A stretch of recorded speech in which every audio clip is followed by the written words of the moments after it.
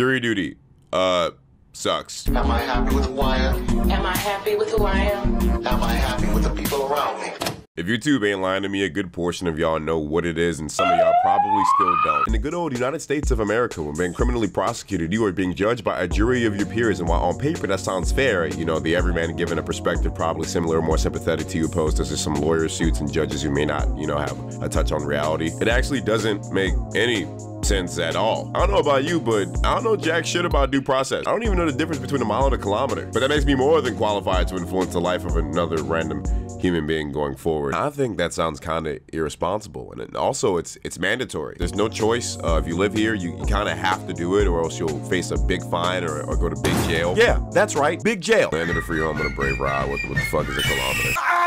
Certified side nigga secret. See, we've all kind of been just gaslit into being fine with the state wasting our time in the name of it being our civic duty. Because when you think about it, none of this makes sense, and literally every person a part of it wants nothing to do with it. Back in 2022, I was summoned for jury duty, but I had a bit of an oopsie, oopsie crazy moment. I had a bit of an unrelated mental breakdown, which was a perfect excuse for me to get out of doing that jury duty shit. I put up to the courthouse with my crazy ass paperwork and said, hey, um, I'm clinically insane right now. Uh, maybe you don't have me as a juror? And the lady went, uh, sure, I don't give a fuck. You're exempt for two years. Now, technically, this lady lied to me because this was in October of 2022, and I got summoned for jury duty September of 2024. Not a full 365, yeah, but I, I didn't really care. Now, coincidentally, almost all of my friends, including my best friend who I had to drive to the courthouse, all got their jury duty summons before school started. Not me, no, of course, inconvenience for the block. Of course, it couldn't be the first week, not the second. No, it had to be the third week of class where stuff starts actually being important. You know, and attendance actually starts to matter, like for real, for real. Yeah, just fuck me. But I thought, well, you know, uh, my butt's tanked it, and maybe I might find an interesting case or something, so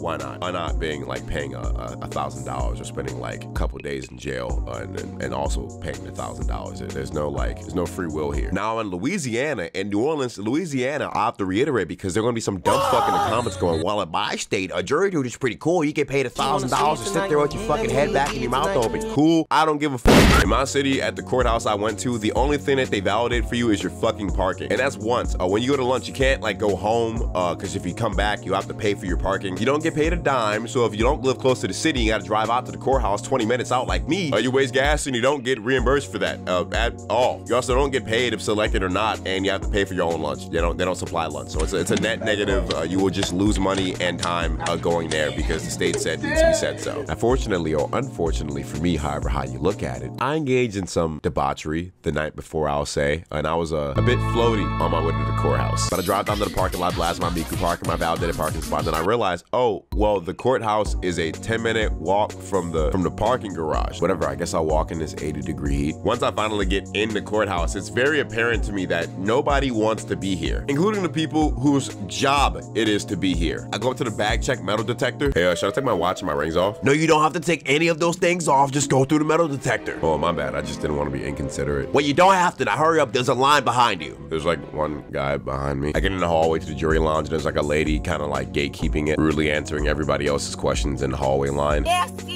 fucking nigga. I just avoid her and go to a completely different lady to validate my parking who also kind of looks like she doesn't want to be here. Once I go into the jury lounge, there's this lady who's sitting at this front like juror desk who just has the most condescending tone I have ever heard in my life. Any person asks a question, she's just too fucking bothered to do her job and answer it. She'll answer it in the most like, you're a fucking idiot sort of way possible. There was this lady who had a genuine concern that she needed to pick up her kids from daycare and had literally nobody else to do it. And the other lady says, well, ma'am, you're gonna have to figure that out. That isn't our job. Yeah, no shit, she'll have to figure it out. No fucking thanks to you. I would think that non-conventional single parent households would be exempt from this jury duty shit, especially when we're not getting paid for it in this city, but no, uh, fuck you, I guess. Figure out how to pick up and provide for your kids on your own time, even though we're using your own time legally. Now, the thing about jury duty over here is they schedule you for two weeks, and every night before the next day, you have to call to make sure that you have to come in. I didn't want to do all that because I got a life and, and like class assignments to do. So I printed out my class schedule and other school paperwork to show this lady so that I could like not be here. And apparently, I forgot the fucking Treaty of Versailles because I, I was missing something, obviously. Hey, can I help you? Yeah, I'm a college student. I have an exam today. Actually, I, I kind of can't be here. What high school did you say you went to? I, I said I was a, a college student. I, I go to college. When do you graduate? Oh, well, it should be like 26, 28, depending on like what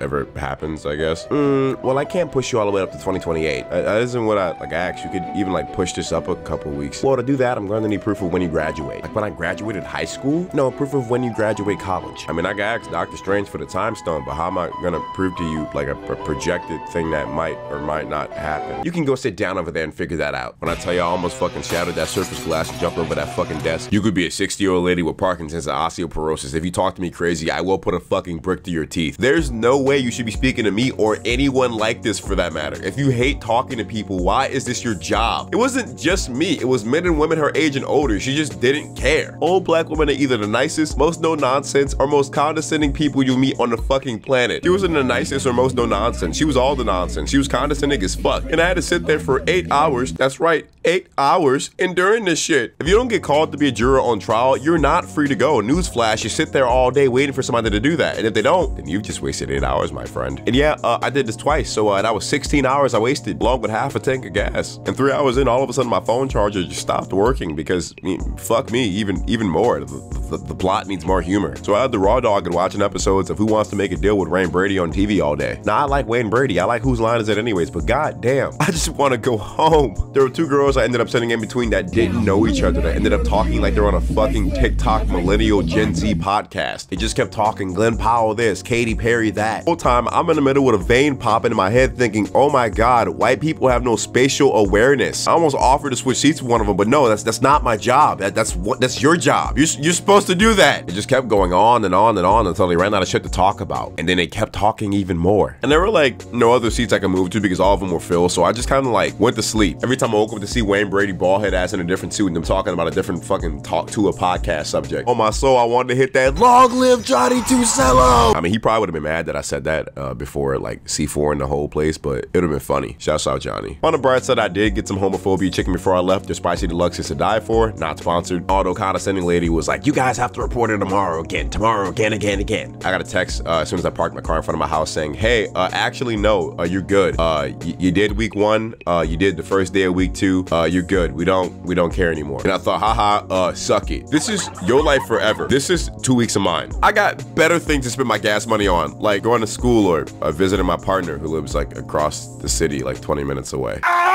Certified side nigga secret. Uh, Bill was the pace to listen to this uh, sponsored non-legal advice. Also, look at my tattoo. Pretty cool, right?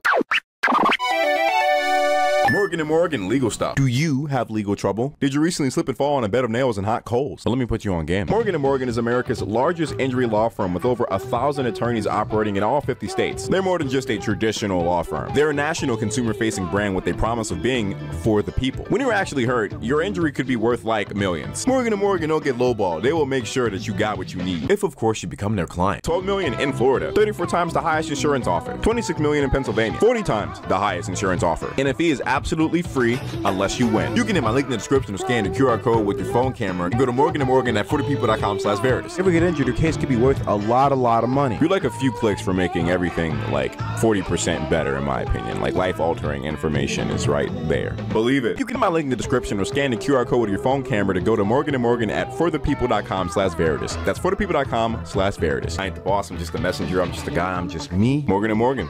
Tap in. I didn't upload last month because I was busy with school and also I got like really sick. Uh, don't be mad at me. Uh, I love you. No parasocial shit.